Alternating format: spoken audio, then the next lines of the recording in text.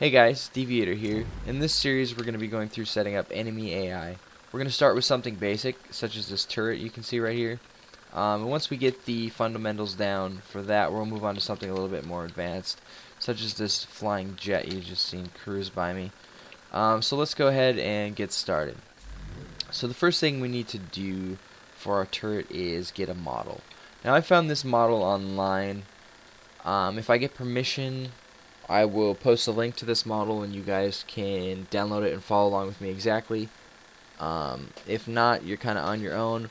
But don't worry because the model is not going to really affect this process. It's going to be the same setup no matter what model you have. So don't worry too much about that.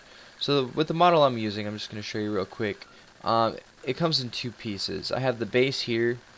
Um, I've thrown just some basic collision on there. I actually added the collision here in... Uh, Unreal. Um, and this is going to be the base for our turret. Um, the guns are going to sit and pivot on top of this. And then we actually have the upper portion of the turret, which is our guns. Um, I've also thrown collision on this. Uh, one thing you want to do, whether you're using a similar model or one you've created, is at the end of your barrels, you're going to want to set up um, some sockets. I have two barrels, so I created two sockets, one called barrel underscore 1 and the other called barrel underscore 2. Now if you don't know how to create sockets, I'll show you real quick. Down here in the bottom right hand corner, you should see a socket manager.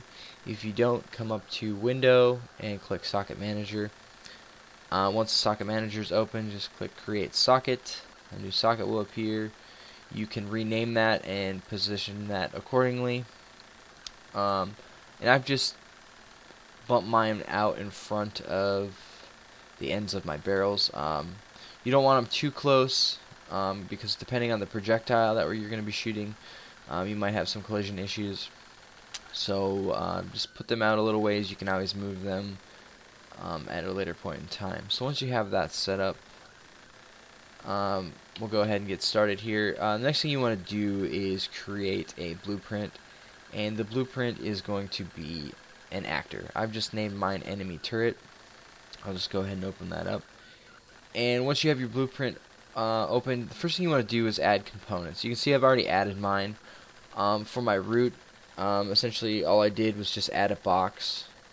A bo just go up to component and type in box. We'll see box.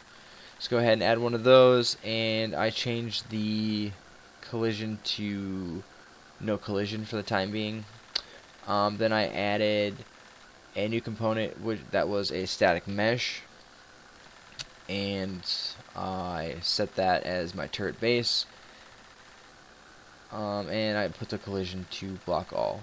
And then I added another static mesh component for my turret guns and set the collision to block all as well so once you have all of your components in your blueprint, uh, we're going to hop over to our graph.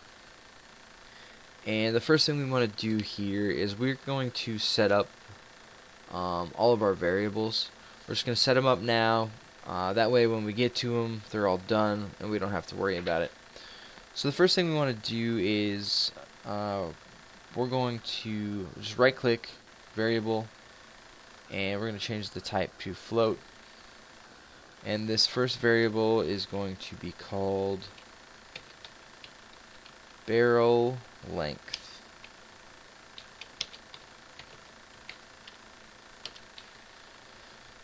Um, then we're going to add a, another variable, and that's also going to be a float, and we're going to call this one rotation speed.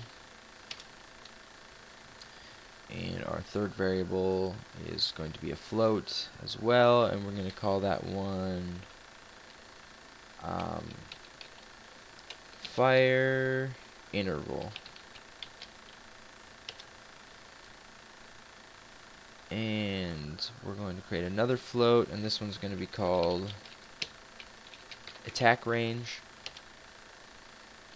Uh, one thing here real quick before we continue on with the variables is this is kind of a nice little tip. Uh, I like to have them organized so I can get to them quickly. Uh, so let's just say you click on barrel length. Right now, down on category, it's set to default. Um, if you actually select that, Uh, I'm just going to type in for this one, let's say, um, if I can actually select it here, uh, turret uh, settings. Um, now you see, once I do that, um, there there's a little tab called turret settings, and it's underneath there. So I can just go ahead and put these other ones in here. So if I click on rotation speed, go down to category, select the drop down menu, you'll see turret settings. Um, I'm just going to put all those floats we created under turret settings. Um, we'll just close that up. Um, so now what we're going to need is another variable. It's going to be a float as well. This one's going to be called delta time. And I'm not going to put this one under turret settings. It's going to be kind of more of a global variable. So it'll be out on its own and then I'm going to create another variable this one is going to be a bool and I'm going to call this one enemy in range um, I'm just going to hit compile quick now once you hit compile um, you can actually set the value uh, for these variables uh, delta time we're going to set during runtime, so we're going to leave that. Uh, enemy range we're going to set to false. So if you leave this box box unchecked, that's false. If you check it, it's true. Under turret settings, uh, barrel length, I'm going to set that to 4.0. Rotation speed, we're going to set to 1.0.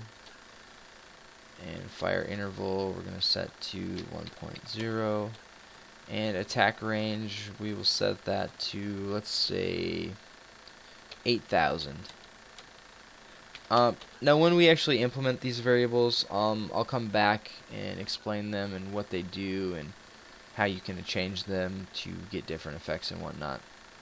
Uh, so I'm going to stop the video right here. In the next part we will start adding some functionality to our turret